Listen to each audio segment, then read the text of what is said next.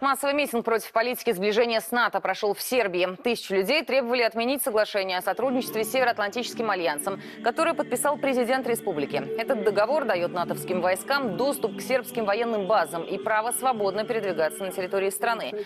Протестующие назвали этот документ антиконституционным и, цитата, «признанием капитуляции».